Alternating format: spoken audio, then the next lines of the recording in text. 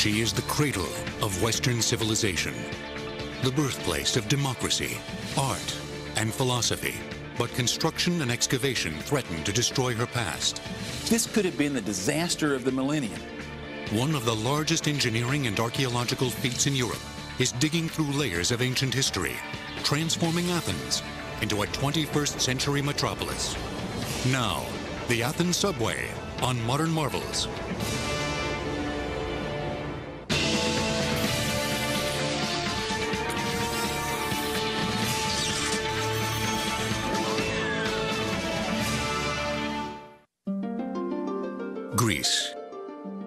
Beautiful mountainous country boasts hundreds of islands and 9,000 miles of shoreline. Athens, her capital, sits on Attica, a peninsula about 40 miles wide and 50 miles long. Ringed by mountains, high-rises share the Athens skyline with crumbling ancient structures. Here, the ancient and modern live side by side. Cars drive past classical triumphal arches that have survived millennia.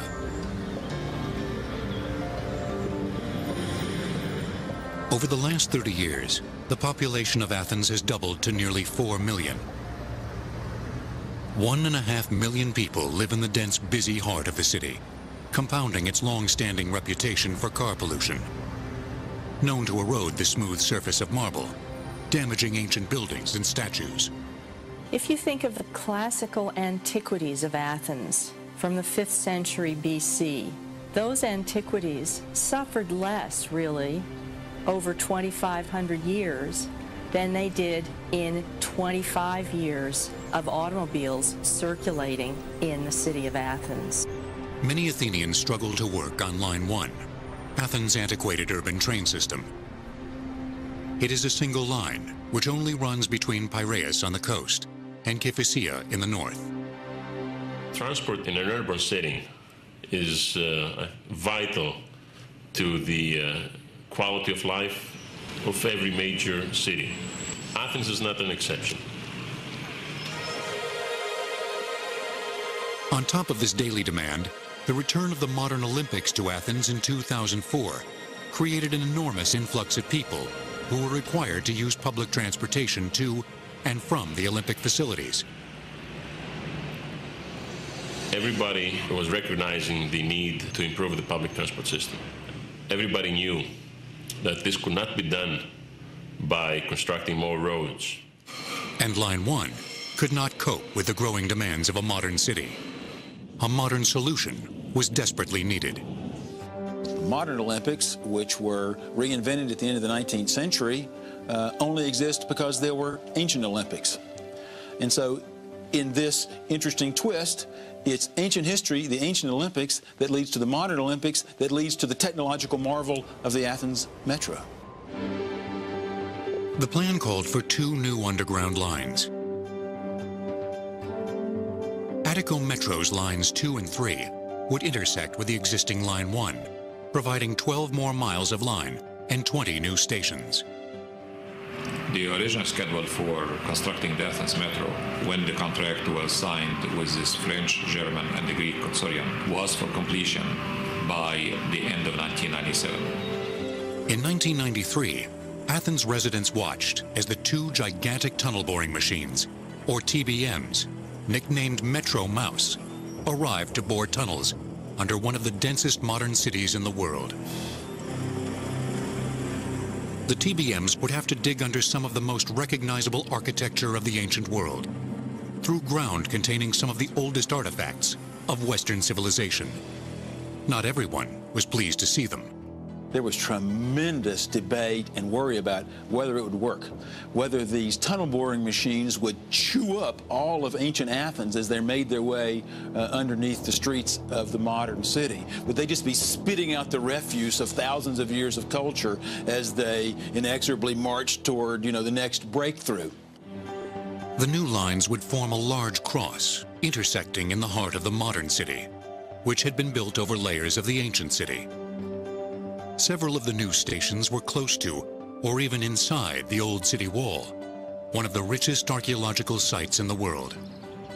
since they've been inhabiting the same spot for thousands of years and living in exactly the same place. The archaeological history of Athens has built up like layer upon layer in a cake uh, over the centuries. And, and all you need to do is take a teeny little slice in that cake and you are immediately plunged into centuries, indeed millennia, uh, of riches of archaeology. The careful scientific archaeological excavations carried out during the Metro project give us a window into the ancient civilization. Along with coins, lamps, and pots, water pipes and roads tell us about Greece's engineering feats before it was annexed by Rome in 148 BC. They had roadways, with drainage, with surfacing, with tunnels and pipes to take away wastewater, and above all, to bring fresh water, extending over an enormous amount of ground, uh, and bringing to the people a quality of life that we never had this kind of physical evidence for in previous times. And so we see uh, how there really was an ancient technological marvel. The modern technology let us see the application of the ancient technology in a way that gives a completely new dimension to our understanding of ancient Athenian life. To build a metro in Athens at the end of the 20th century meant vast tracts of history had to be cut into. The archaeologists would have to perform rescue excavations, working within a limited time frame to map, record, and preserve thousands of artifacts across 18 sites, exposing over 40 square miles of ancient civilization.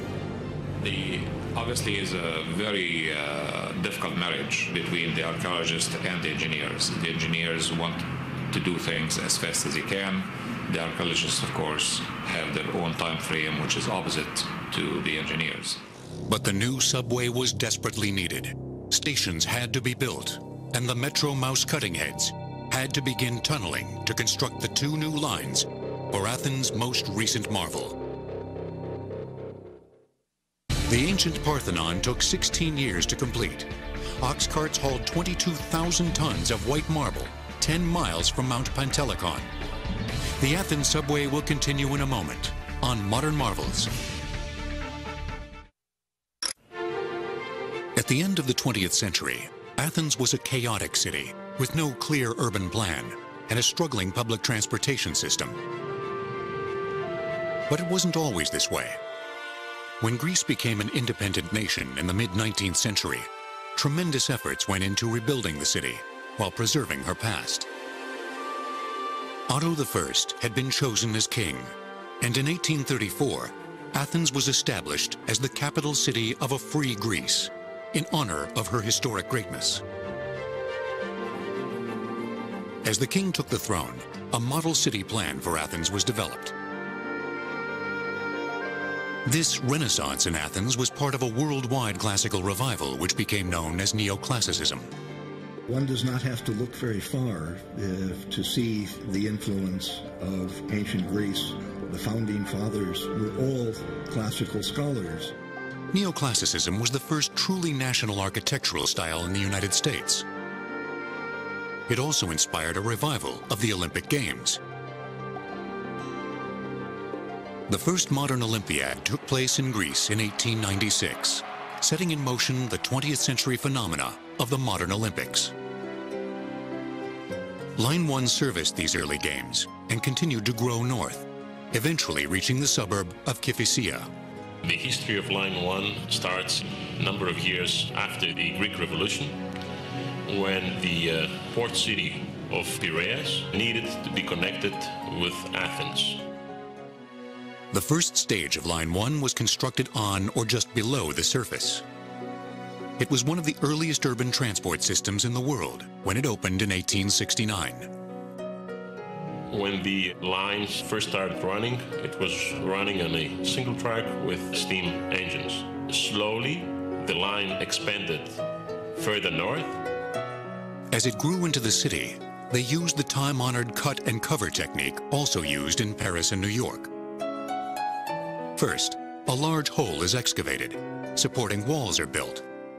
Then a roof is constructed before reinstating surface conditions. Towards the end of the 19th century, more and more people traveled to Athens to experience her classical glory. But the events of the 20th century overtook Athens' development. She was involved in both world wars and suffered under Italian and German occupation. She then endured a bitter civil war from 1946 to 1949, in which more than one million Greeks were killed.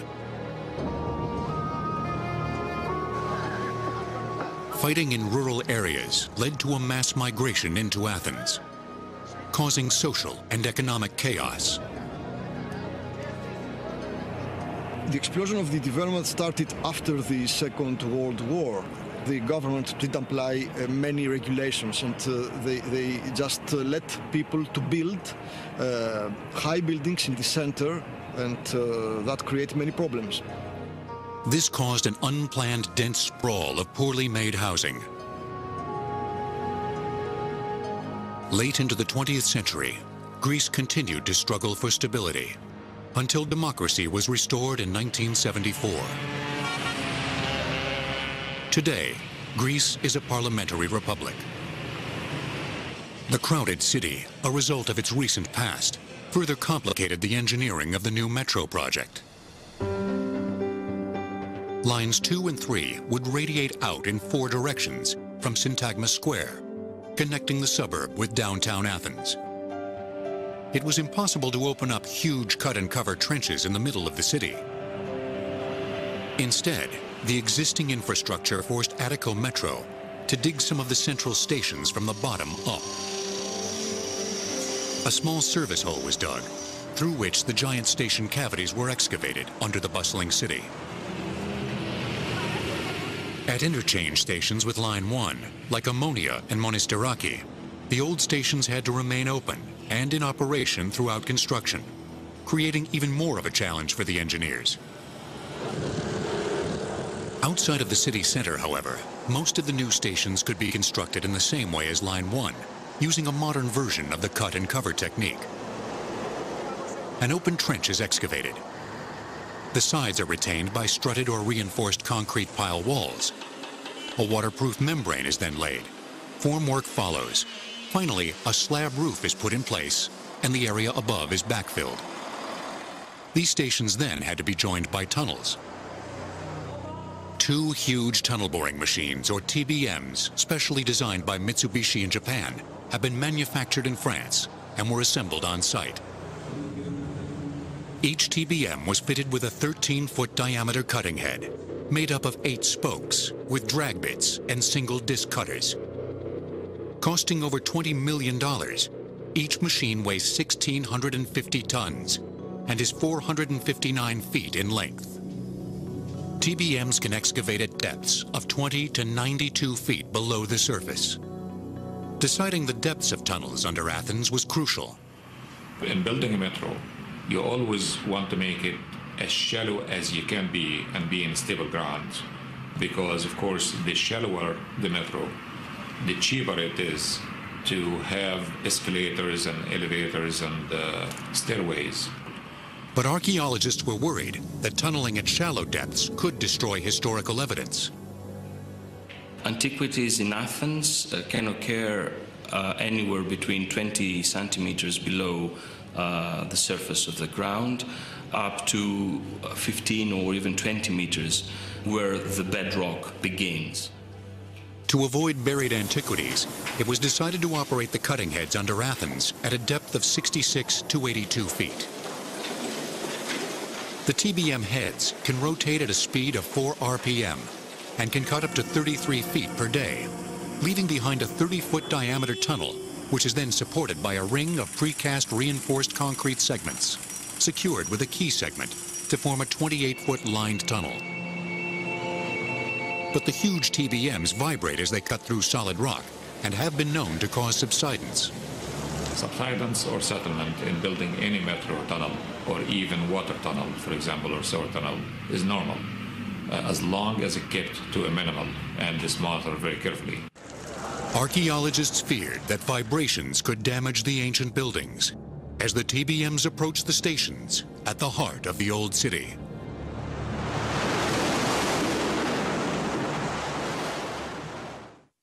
The deepest underground system in the world is thought to be the Pyongyang Metro in North Korea. Tunnels are as deep as 393 feet below the surface. The Athens subway will continue in a moment on Modern Marvels.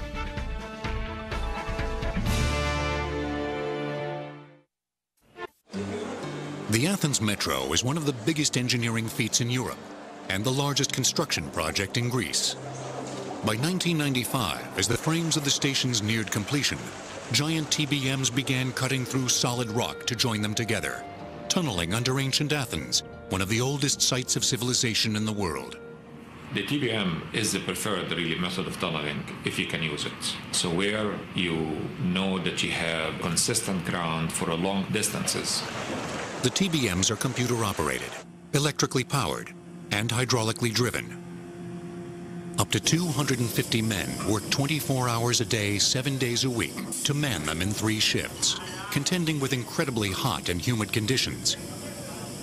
Work only stops when the temperature rises above 100 degrees Fahrenheit.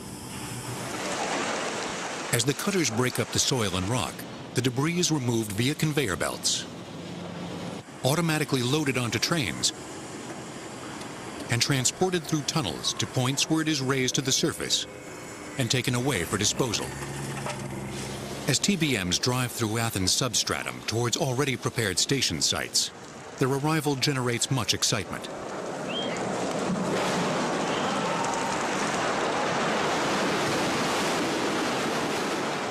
Each time a TBM breaks into a station with pinpoint accuracy, there are celebrations at its safe arrival.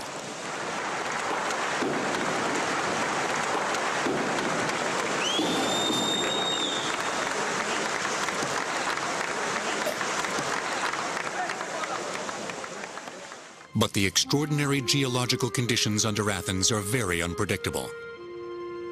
Despite surveys and hundreds of boreholes, in a space of 33 feet, the geology can change from hard rock to soft rock, or even shale. Because of this inconsistency, tunneling methods had to be adapted to suit conditions.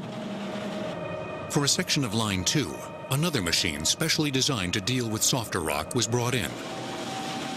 Called an open face shield TBM, it works like a tunnel boring machine, but has much smaller cutting heads attached to it, and a shield to provide initial ground support when tunneling. The open face shield machine is more gentle and more secure uh, method of tunneling, especially in a weaker uh, ground and where you have uh, tunneling going under weak and sensitive buildings. Thousands of years of urban development added to the geological instability. In areas like Panepistimiou, landfills and ancient water wells litter the naturally unstable subsoil. When the water vanished from the well, the well had to be filled up. Usually it was filled up with uh, rubbish, with broken pots uh, that were useless for the household. Sometimes when a well was cut into, artifacts cascaded into the tunnel. If and when you discover something, then the involvement of the archaeologists become really the driving force, not the engineers. This ancient debris is a treasure trove. All that became a very important archaeological find, which gives us an insight of everyday life. Because ancient Greeks, like modern Greeks, wanted the new.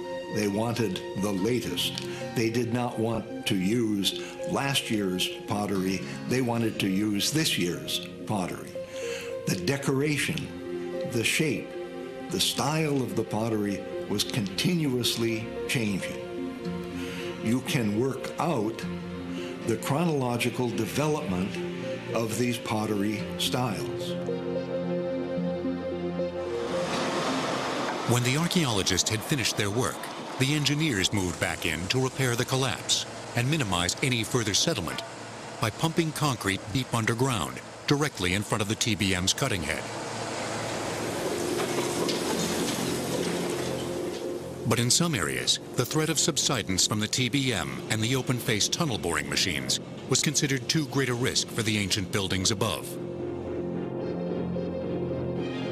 Because of the presence of many beautifully preserved early Christian churches, the tunnel connecting Syntagma Station to Monastiraki Station inside the city wall, and then on to Keramikos, proved the most difficult.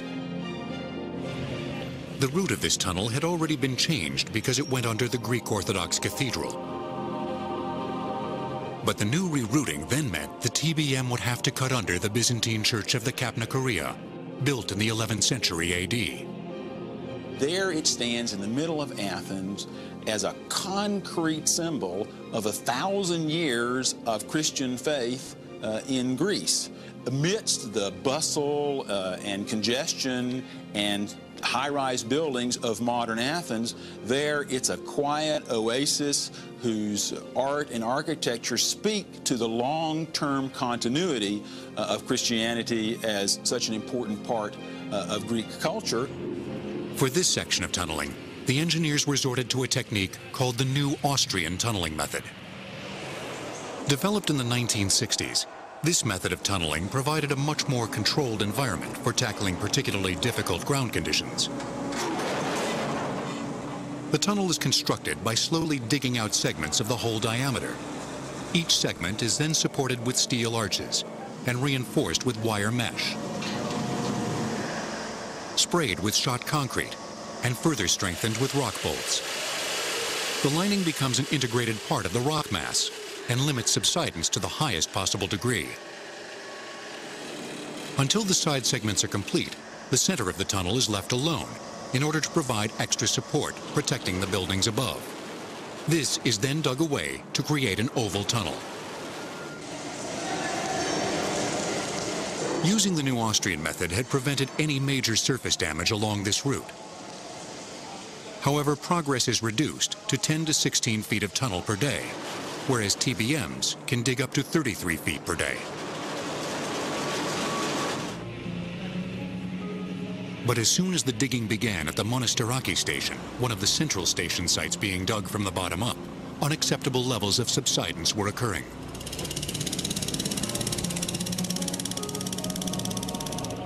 Here in the middle of this difficult building site, the 17th century church of the Pantanassa had already suffered extensive structural damage from settlement.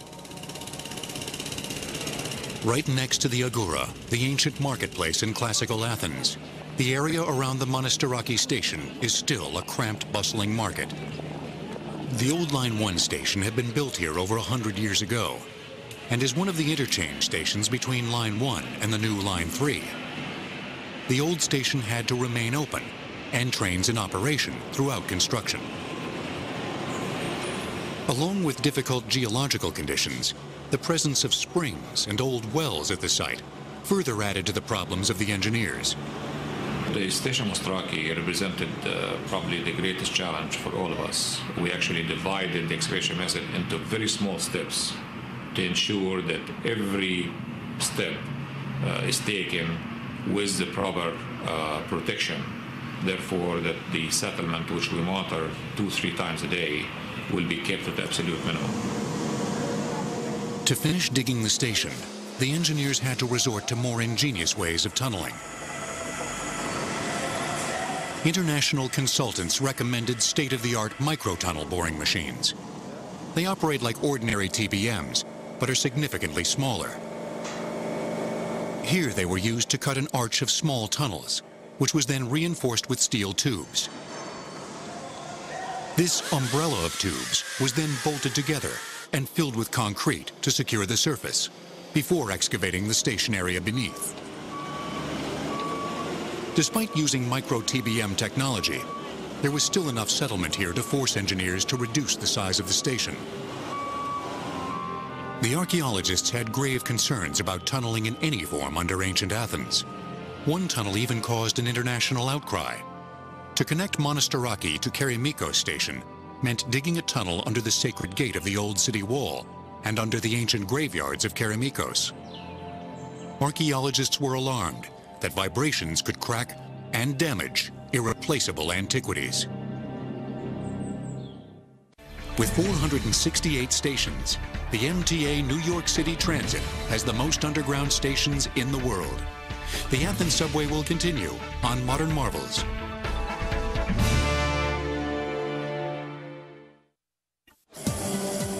Under modern Athens, engineers struggled with a variety of tunneling methods to cut through the unpredictable substratum in building the new lines 2 and 3 of the modern metro system.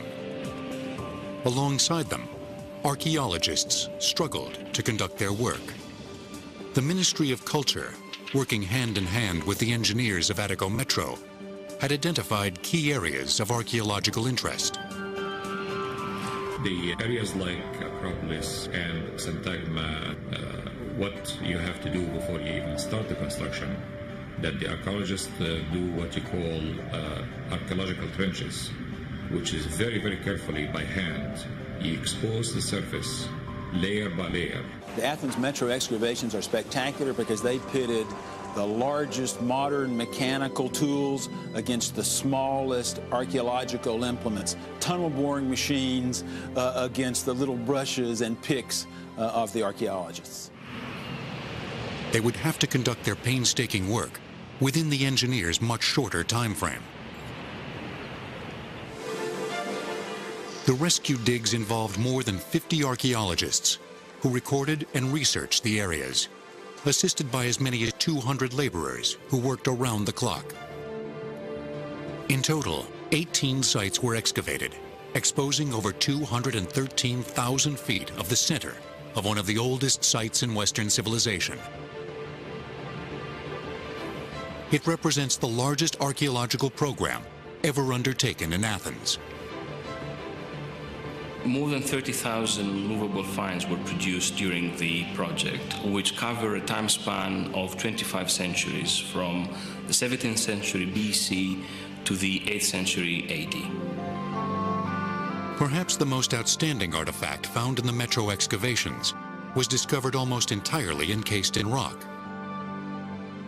When carefully chipped away, it revealed this beautifully crafted bronze head made in classical Greece in about 480 BC. Very few large bronzes survive from antiquity, even fewer from Greece.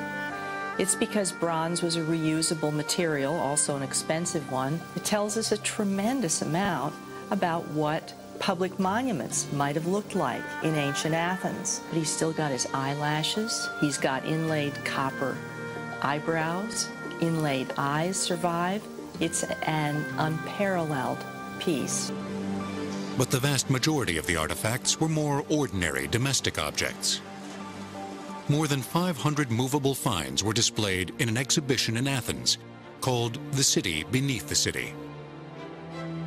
They are fractions of everyday life and they show items that these people used at home and the playground, at school, in political, religious life, or took with them after death. Several of the central station sites were situated on ancient burial grounds just outside the old city wall, where thousands of new graves were uncovered. Ancient Greeks throughout their history always wanted to keep dead away from the inhabited areas. When they had walls, the dead were buried outside the walls. The ancient Greeks generally made tombs for their dead, and stone coffins often preserved their contents intact. In classical times, various religious and civic observances were practiced around burial rites. The Greeks buried their dead with a number of burial gifts, which were meant to suggest who the deceased was in their lifetime. So soldiers are buried with their weaponry, athletes are buried with uh, their athletic paraphernalia, wives are buried with uh, household items, and so on and so forth. Every Athenian uh, was in death the person who were in, in their lifetime. Children who had died were buried with their favorite toys, like these clay figures.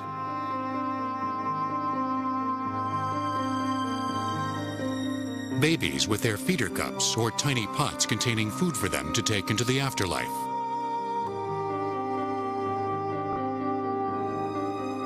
The oldest exhibit in this exhibition uh, uh, is a pair of pots from the Mycenaean period, dating in about the 17th century BC. They come from the grave of a child in the area of the Acropolis station. This child's burial is unique for two reasons. One, that it belongs to a period of the Bronze Age civilization which is not well documented, the transition from the Middle Bronze to the Late Bronze or to the beginning of the Mycenaean era. And secondly, that the vases themselves are, are shapes that we normally associate with mature adults. At the Kerameikos station site alone, over a thousand new tombs were found. Some graves had more unusual contents, like this one for man's best friend. Pet cemeteries are not a modern invention. This beloved pet was laid out there with his leather collar studded with bronze discs and actual glass perfume bottles uh, in with him, uh, which is surely an expression of the close bond between the family and, and this beloved pet. As the rescue digs came to an end, the bulldozers moved in. New stations and tunnels needed to be built. The most controversial stretch of tunneling to connect Monastiraki Station to Kerameikos Station was to be cut under the ancient suburb of Kerameikos. In the ancient world, Kerameikos was described as one of the most beautiful districts of Athens. It was the potter's quarter, the place from which we get the word ceramic. Located just outside the old city wall in the shadow of the Acropolis, it is the site of the largest and most ancient cemetery yet to be found on Attica. It also bears testimony to one of the most tragic episodes in ancient Greece, a plague that devastated Athens in 430 BC during her war with Sparta. The great war that Athens fought with Sparta brought them behind their walls for defense, uh, and a great epidemic struck them. Uh, this disease killed thousands and as the excavation shows, led the Athenians to pile the corpses one on top of each other uh, in these uh, communal graves, uh, giving up their traditions of individual burial uh, because the tragedy was so overwhelming. The Greeks did not usually practice mass burial, but during the plague, wrote the Greek historian Thucydides, the Athenians were so sure that the end of the world was coming that they left their dead in the streets potentially through DNA analysis, we might be able to settle some questions regarding the nature of this plague itself. What was the disease that carried off uh, these citizens? We have descriptions of the symptoms in Thucydides. There has been a lot of speculation about what the actual disease was. But since we now actually have the bones of citizens that died as a result of this plague, we might in fact be able to pinpoint what precisely the nature of it was. Originally, a TBM was to have cut beneath the ancient fortifications, under the bed of the Eridanus River, which in classical times ran out of the city beside the sacred gate and on under the ancient graveyards. This plan caused a storm of opposition from archaeologists, who were concerned that the tunneling could damage irreplaceable antiquities. As a concession, and to ensure that uh, there is not even slight possibility of any damage to the ancient cemetery, we agreed with the archaeologists to proceed using this new uh, Austrian tunneling methods, which is much more careful and gentle uh, method of tunneling. But still, the archaeologists were not satisfied. Attiko Metro finally agreed to reroute the tunnel but to connect to Kerameikos Station, which was already under construction, they would still have to cut under a corner of the cemetery. And that corner was below the Street of Tombs, in the Kerameikos neighborhood containing important pieces of classical funerary art. The ancient sources tell us it was the most beautiful suburb of Athens. Um, it was also the place uh, where Athens commemorated its war dead, where the national memorial of the fallen soldiers uh, was located, and where many tombs with beautiful works of art uh, were placed. Uh, it was a sacred place of commemoration.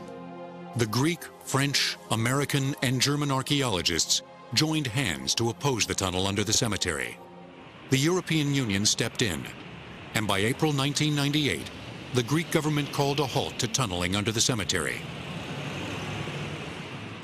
The Kerameikos station was abandoned. In planning any project in an ancient city, you have to plan considering the impact of the archaeology. So we added uh, 12 months to the schedule to allow for uh, such activity. But Attiko Metro now believes that the archaeological digs delayed the project by up to two years at a cost of nearly $50 million. Behind schedule and plagued by delays, the engineers struggled to complete the base project in time for the new millennium. At 33 and a half miles long, the Seikan Tunnel in Japan is the world's longest railway tunnel. The Athens subway will return on Modern Marvels.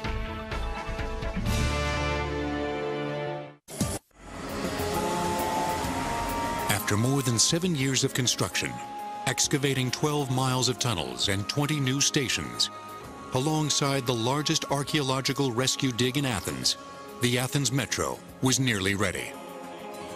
Blessed by the Archbishop and opened by the President and the Prime Minister, the first stage of Athens' new metro was finally open on January 29, 2000. Throughout the nearly $2.5 billion project, over 2 million cubic feet of concrete and 62.5 tons of structural and reinforcing steel were used. One of the disadvantages of building metros, that underground especially, that people do not see any development in the surface.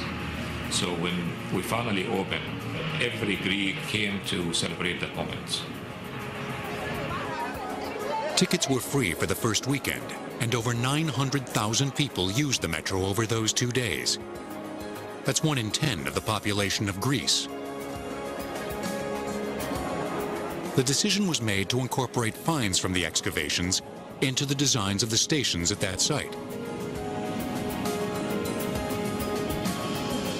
The idea to present some of the exhibits, either in the original or in uh, copies in reproduction, in the, the, the stations, uh, was very welcomed by uh, the people who use the metro. As people saying that we don't have a museum within a metro, but a metro within a museum. These are, in a sense, the most successful public outreach programs because they brought the culture, the, uh, these museums, to the people. And uh, it gives a sense of continuity to reassure the Athenian but also the international public that no damage was uh, suffered to the remains of the past uh, during the project. More than 400,000 people use the new metro daily, effortlessly transporting them around the center and out into the suburbs. Trains run for 18 hours a day between 6 a.m. and 12 p.m. In rush hour, trains run every three minutes and every five to 10 minutes in non-rush hour. As people change lines by walking along these impressive marble corridors, they can enjoy not only ancient artifacts, but modern art too.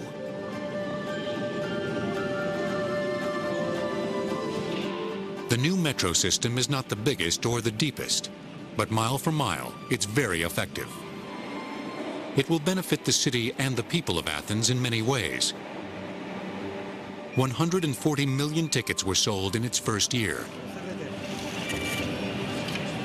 And as more and more people leave their cars behind, or at the specially designed park and ride stations, it will significantly reduce toxic emissions in the city and improve air quality. Now that there's a metro, the air has cleared. You can see all the way to the sea at the Piraeus. You can see the Acropolis all the time. We have documented that the metro have reduced the pollutant in the environment by as much as 15%. The number of pollutants will be decreased further as the metro expand to the out suburbs. But even this extended metro is only the beginning. It will not solve all of Athens' pollution and congestion problems. It is very important to take measures in the surface of the city. And uh, these kind of measures are, for example, the creation of a network of tram, because tram takes uh, room from the car. As do other forms of surface transport like buses. Athens already has the largest fleet of gas-powered buses in Europe.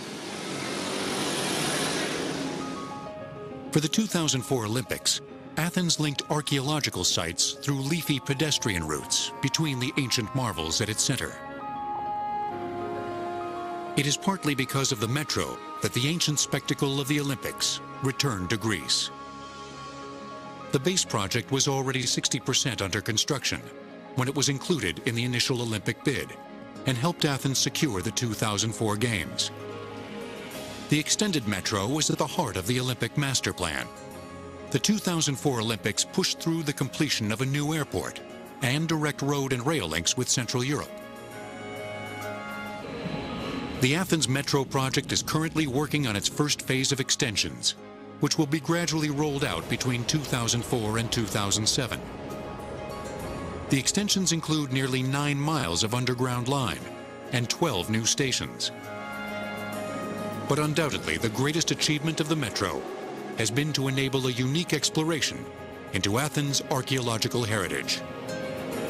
Although the, the project for the construction of the Metropolitan Railway was a great, great challenge for uh, the archaeologists working in Athens, it also provided a very rare opportunity I don't think anyone would have uh, agreed for a proper excavation in the heart of Athens and Syntagma Square, for example, if it wasn't for something like uh, the metro project. In a modern city where um, facilities, working facilities for the general public have to be done, there is always a, a balance between the uh, needs of the public and the scientific uh, investigation. This marriage between progress and preservation has led to the discovery of thousands of everyday artifacts of extraordinary value, scientifically preserving the lives of everyday people of the past. There hadn't been these TBMs, tunnel boring machines, then there wouldn't have been any subway. If there hadn't been any subway, there wouldn't have been this massive archaeological project, the largest ever in Athenian archaeology. And if there hadn't been this massive archaeological project, then there wouldn't have been this flowering of knowledge uh, about the life of the Athenians over thousands of years. The opening of the system was the proudest moment for all of us when you see the acceptance of the Greek public and you see also the, the joy and the pride of the average Greek in having such a metro given to them for a generation. It gives a, a pledge that progress uh, does not always mean the destruction of the, of the past. When excavations started in Athens during the 19th century, everybody was excited about the past. And so you get neoclassical architecture, a kind of renaissance. I think the same thing's happening again now with the opening of the metro. Everyone's excitement is renewed about the antiquities. Throughout history, Western civilization has been continually informed and inspired by the ancient Greek world and its love of beauty and wisdom. At the height of Athens' golden age, Pericles remarked, What I desire is that you fix your eyes every day on the greatness of Athens and fall in love with her. Mighty indeed are the marks and monuments of our empire which we have left. Future ages will wonder at us, as the present age wonders at us now.